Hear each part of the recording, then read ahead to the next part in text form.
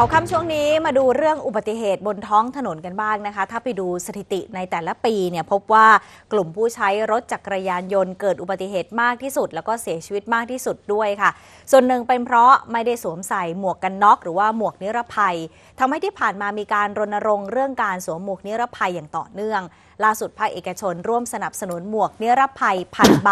ส่งต่อให้กับผู้ขับขี่และผู้ที่ซ้อนโดยเฉพาะเด็กและเยาวชนค่ะ นายสุรชัยเลี้ยงบุญเลิศชัย สมาชิกวุฒิสภา และประธานคณะกรรมการบูรณาการกู้ชีพฉุกเฉินและความปลอดภัยทางถนนวุฒิสภา รับมอบหมวกนิรภัยขนาดเล็กสำหรับเยาวชนจำนวน 1,000 ใบ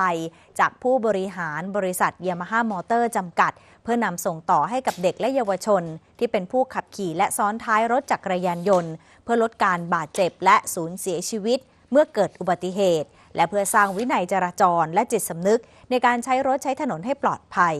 ที่ผ่านมาสว ได้ร่วมเป็นภาคีเครือข่ายรณรงค์เรื่องนี้ร่วมกับสสส ภาคเอกชน ภาคประชาสังคม และมูลนิธิเพื่อความปลอดภัยทางถนน